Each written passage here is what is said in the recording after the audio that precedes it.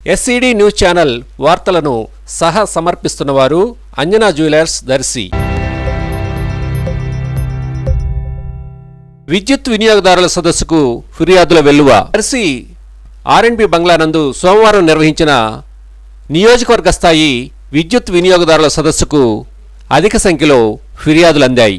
లో వోల్టేజీ ట్రాన్స్ఫార్మర్లు అలాగే గృహాల మీదుగా వెళ్తున్న లైన్లను తరలించాలని కోరుతూ ఫిర్యాదులు అందినట్లు విద్యుత్ శాఖ అధికారులు చెప్పారు. దర్శి పట్టణంలో గృహాల మీదుగా వెళ్తున్న విద్యుత్ లైన్ను తొలగించాలని గత కొన్ని సంవత్సరాలుగా కోరుతున్న సమస్యను పరిష్కరించలేదని పట్టణవాసులు పలువురు ఎమ్మెల్యే దృష్టికి తీసుకొచ్చారు. వెంటనే సమస్యను పరిష్కరించాలని అధికారులను ఎమ్మెల్యే ఆదేశించారు.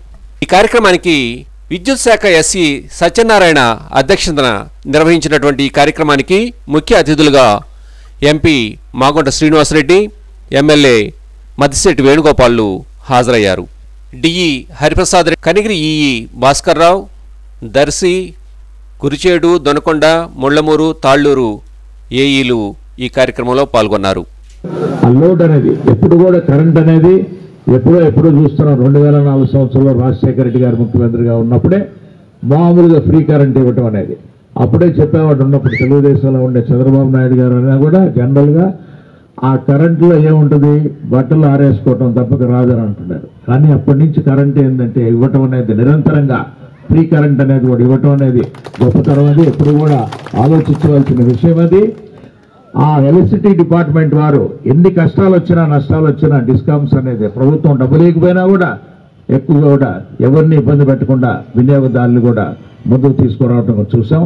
అందువల్ల ఈ వన్ థర్టీ టూ కేవీఐతో ఇంకా కూడా మెరుగుపడుతుంది. ఎప్పుడు కూడా మనం జగన్మోహన్ రెడ్డి గారు ముఖ్యమంత్రి గారు అయిన తర్వాత నుంచి కూడా వారు కూడా చెప్పేది ఒకటే నాణ్యమైన కర- కరెంటు నిరంతరమైన కరెంటు అన్ని ఇంటరప్టెడ్ కావాలి క్వాలిటీ కావాలి ఈ రెండు ముఖ్యం కావాలి కాబట్టి ఇవన్నీ సప్లై ఇచ్చేదాని కొరకు డిపార్ట్మెంట్ అందరూ కూడా పనిచేస్తుందని కూడా మన ముఖ్యమంత్రి వాళ్ళు ఎప్పుడు కూడా చెప్తుంటారు కాబట్టి మీకు ఎటువంటి ఇబ్బందులు ఉంచినా దయచేసి మన డిపార్ట్మెంట్ వాళ్ళు మీ ముందే ఉన్నారు వాళ్ళందరూ కూడా చెప్పండి.